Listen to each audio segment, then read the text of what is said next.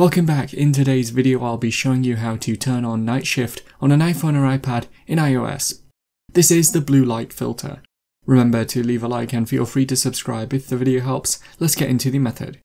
To turn on night shift, open the settings app first and then scroll down and select display and brightness from the list. Within here, look for the option called a night shift and tap on it. You can now turn it on in here either with the scheduled time or you can enable it manually until tomorrow.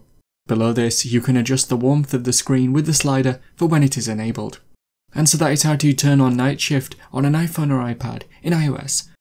Click the card on screen now to watch a video of mine showing you 10 easy ways to speed up your iPhone or iPad. If you have any questions, then let me know in the comments below and if you did find today's video helpful, remember to leave a like and feel free to subscribe for more tips in the future. Be sure to stick around to see some of my other videos that you might be interested in. Thanks so much for watching, and I will see you in another video.